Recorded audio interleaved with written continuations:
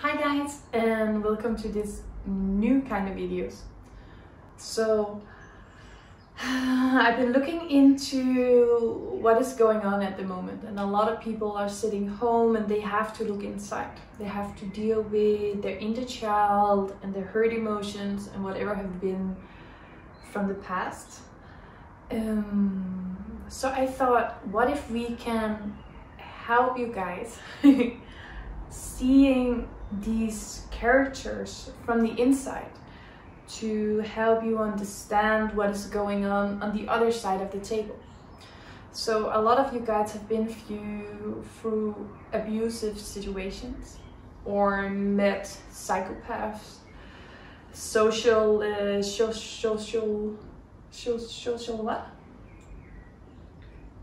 Sociopath? Sorry. You may not understand people with eating disorder or hyperactivity or high sensitive or stuff like that. So I would really love if you guys would uh, send us uh, in the comments below. Let us know which character you have the urge to understand. And even if it is yourself, we will love to bring up the subject and uh, look at it from the inside. So without further ado, um, the character we're gonna look into today, the first one we're gonna look into today will be the high sensitive one. Yeah, this one is gonna be easy for me. I don't have to change that much character. So what I wanna do is I just wanna talk for the energy of the highly sensitive people as a collective. So maybe you can understand it through uh, for me. Okay.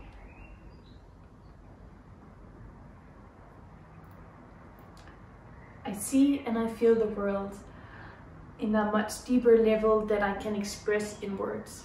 It is as if tones feels higher and it reads deeper. It is as if emotions hit me so deep as if there was no tomorrow. It doesn't only matter for the heavy ones, but also for the light ones. When the sun is shining, I feel as if I am the sun. When somebody's crying in the movie, I feel as if I am part of that movie, as if it is my heart that is broken. Being highly sensitive means that that that walking on the street can be a journey because you sense and you feel and you observe everything surrounding you. You take it in as if it's either against you or a part of you. And to really truly know the difference is not always easy. It takes time to learn what is coming from the outside and what is coming from the inside. Being highly sensitive also means that that when people come with their outrushing energies, it may feel like abuse or overload, and it may scare it may scare the highly sensitive person because it feels so violent. Imagine that imagine that you have the the abilities of Superman, right? And you you can hear and you can sense and you can feel it so deep, but you are not self-aware that you have the strength. So many highly sensitive people get scared. They feel overused, they feel overloaded, and they go into this depression kind of state because they have not learned the value within their own essence. They have not learned fully to stand up in the beauty of existence. Um, because that everything outside of themselves feels so much that it's hard for them to see that what is inside of them is exactly as much the other way around.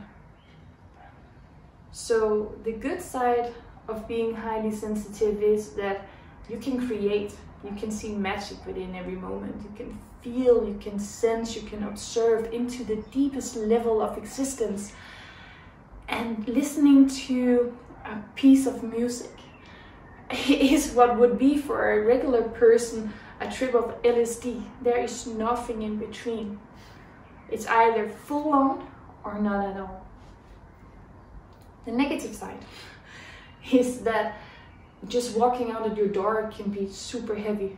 to go shop in a shopping mall can feel almost as if abusive as if somebody would beat you up because energetically you get so many impulses that it's hard for you to function in that regular day. You cannot not listen to your true self. So if you don't like to go to work, you barely can get your body out. Your body will have symptoms. You will get ill, even that you want to push through.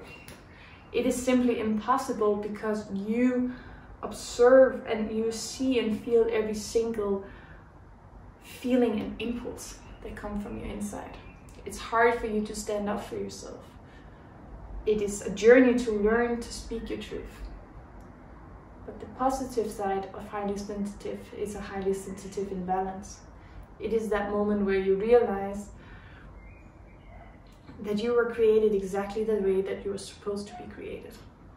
That you were sent here to see and feel and be and experience on such a deep level that you cannot stay in the old structure the way it were. You were sent here to recreate that structure by not fitting in.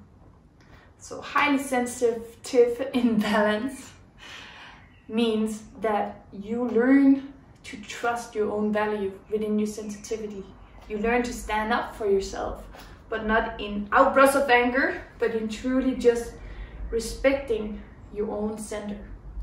And you get to learn to know your borders. Highly sensitive people have real issues with knowing their borders. Like, do we have them? so when you get in balance, you get to know your borders. And as more you get to learn to know your borders, as more freedom and space do you create within yourself. And from there, we can change this world together. So to all you high sensitive people out there, thank you. Thank you for being a part of this journey. Thank you for being part of this shift. Thank you for standing up for yourself. And even if you're not ready to stand up for yourself, then still thank you for being here. Because without you, no matter which state you're in, without you, we could not change this reality that we are about to change. Namaste.